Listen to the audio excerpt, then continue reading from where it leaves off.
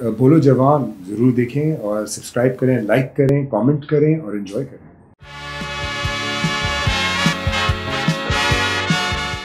اچھا جی اب ہم بات کرتے ہیں ایک اور مشہور و معروف کیس کی جو ہے پرویز مشرف صاحب کا بالکل۔ جن کے اوپر ہائی ٹریزن کا ایک کیس تقریباً دو ہزار چودہ سے چل رہا ہے۔ لیکن اب اس کا سنا فیصلہ وہ بند کر دیا گیا اور اٹھارہ دسمبر کو سنایا جا خبر ابھی تک یہ ہے کہ جی اٹھارہ دسمبر تک جو وہاں کے جو ججز ہیں انہوں نے کہا ہے کہ اس سے مزید ہم ڈیلے نہیں کریں گے۔ اچھا ابھی یہ کچھ دن پہلے مشرف صاحب کی ایک ویڈیو آئی ہاسپٹل میں۔ پہلے تو ان کو ایمبولنس میں لے کر جا رہے ہیں اور بہت بیمار ہیں اور کافی واقعی نظر بھی آ رہے ہیں۔ وہ بیمار ہیں کیونکہ ان سے ٹھیک سے بولا نہیں جا رہا تھا۔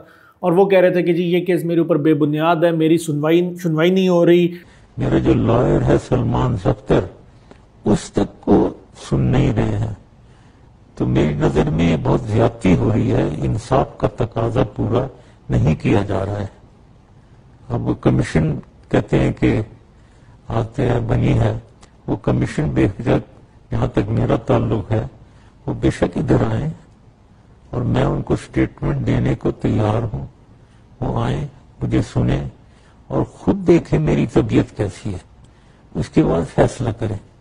اور اس کمیشن کی بات کو کم از کم کورٹ میں سنا جائے اور میرا لائر جو بول رہا ہے ان کو سنا جائے۔ امید ہے کہ مجھے انصاف ملے گا۔ اس کے اوپر کیا کہتے ہیں آپ کہ یہ کیا ہے کہ وہ کہہ رہے ہیں کہ جی یہ کیس اس طرح نہیں ہے جس طرح ہے اور میرے نہ وکیل کی سنی جا رہی ہے بات نہ میری کوئی کروا رہا ہے۔ تو اس میرا اگر بیان لینا ہے آپ یہاں لے لیں۔ دیکھیں مشرف صاحب کی بات اس وقت تک تو ویلڈ تھی جب تک افتخار چودھری صاحب چیف جسٹس تھے کیونکہ ایک ایک ان کے بیچ میں پرسنل وینڈیٹا تھا۔ مگر اس کے بعد والے جتنے ججز تھے ان کی تو وہ وہ پکچر نہیں تھی۔ ٹھیک ہے۔ دوسری بات یہ جب آئے بھی پاکستان تو پہلے اس بھرم میں آئے تھے کہ جی میں تو پتہ نہیں عوام میرے انتظار میں لے لوں گا پتہ نہیں میں ہی آؤں گا۔ پتہ نہیں تو ہم مطلب سویپ کر لوں گا الیکشن۔ جو ٹھیک ہے۔ اگین جب ان کے جب کیسز چلنا شروع ہوئے تو وہی بات ہے پروٹیکٹڈ رکھا گیا۔ مشرف صاحب کو ایک دن کے لیے انہوں نے جیل کی تو رخ کیا نہیں اپنے فارم ہاؤس میں رہتے تھے۔ پھر ان کی کمر میں وہ ان کی بھی درد اترا یہ بھی چلے گئے۔ ہاں جی۔ دیکھیں ان کے پاس پورے تین سے چار سال تھے ٹھیک ہے؟ ماشاء اللہ سے ان کے جو وکیل تھے وہ اب وزیر قانون ہے تو کمپٹنٹ ان کے پاس لیگل کونسل بھی نہیں تھی۔ ایسا نہیں تھا کہ کوئی سڑک چھاپ وکیل ان کے پاس تھا۔ تو موقع تو ان کو پورا دیا گیا۔ ٹھیک ہے؟ اچھا اس بیچ میں یہ ہمیشہ اپنی صحت کا وہ کرتے رہے۔ اب ان کی صحت واقعی میں it's as a critical juncture ٹھیک ہے؟ مگر اس سے پہلے تو آپ کے تین چار سال تھے۔ آپ گولف بھی کھیلتے رہے آپ پارٹیز بھی کرتے رہے آپ کے ڈانس کرتے ہوئے ویڈیوز بھی آتی رہی۔ تو آپ ہٹے کٹے تھے ٹھیک ہے؟ آپ آ سکتے تھے اپنے کیسز کو۔ پرسو کر سکتے تھے۔ تو فیئر چانس تو ان کو دیا گیا ہے ٹھیک ہے۔ مگر اب جو آبسٹیکل ہے وہ اب سمجھ نہیں آ رہا کہ حکومت کس سائڈ پہ کھڑی ہے۔ کیونکہ لگ یہ رہا ہے کہ وہ بھی کہہ رہے ہیں کہ جی پروسیکیوشن کو انہوں نے پہلے جو ٹیم تھی اس کو ڈی نوٹیفائی کیا اب نئی ٹیم آئی ہے۔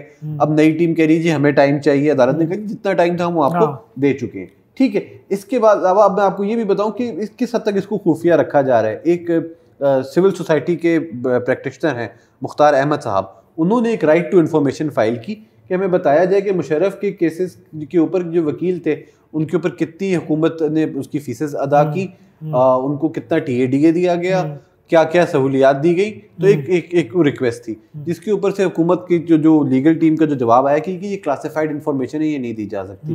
تو آپ اس سے آپ کو سمجھ آ رہا ہے کہ کس چیز کو وہ پروٹیکٹ کیا جا رہا ہے۔ بات تو وہی ہے یہ اب آپ اس کو کچھ بھی کہہ لیں کہ ہمارے ملک میں اب یہ ایسا ایک سسٹم چل پڑا اب یہ میاں صاحب کا دیکھ لیں۔ اب وہ وہاں گئے ہیں، یہاں کہا گیا تھا کہ جی ہمیں میاں صاحب کی کچھ حالت کا بتایا نہیں جاتا، کچھ نہیں وہاں جا کے وہ کہتے ہیں جی یہ تو کلاسیفائڈ ہو گیا، اب یہ میاں صاحب کی پلیٹلیٹس کاؤنٹ بھی اور یہ سب کچھ بھی، اب تو نہیں ہم آپ کو کچھ بتا سکتے۔ مسئلہ یہی ہے، ہمارے ہر بندہ پاکستان میں ہوتا ہے، وہ کچھ اور چاہ رہا ہوتا ہے کہ جی اس کے یہاں تو ہمیں سب کچھ پتا ہو، باہر جاتے ہیں تو وہ کہتے ہیں اچھا نہیں یار، جانے دو، اب جو ہو گیا ہو گیا۔ تو اس چیز کو ابھی زرداری صاحب جو ہیں وہ بھی اب باہر کا تو ابھی تک نہیں کہا گیا لیکن وہ اب انہوں نے اپنی اس کی کے اوپر بیل کا کہہ دیا ہے۔ تو اس چیز کو اگر دیکھیں۔ بات یہ ہے دیکھیں ان کے فیور میں ایک ہول سیگمنٹ آف سوسائٹی جو مجرد صاحب کو پسند کرتی ہے۔ بہت لوگ ہیں۔ وہ آپ کی کیبنٹ میں بھی موجود ہیں۔ وہ تمغہ امتیاز پانے والی محوش حیات صاحبہ بھی ہیں جن کو لگتا ہے کہ جی ان کو ایک فیئر چانس وہ ملنا چاہیے۔ بالکل ایسے میں دیکھیں فری ٹرائلز کی بات سے اختلاف تو نہیں کیا سکتا بٹ کچھ چیزیں ہوتی ہیں جو بلیک اینڈ وائٹ میں ہوتی ہیں۔ بالکل۔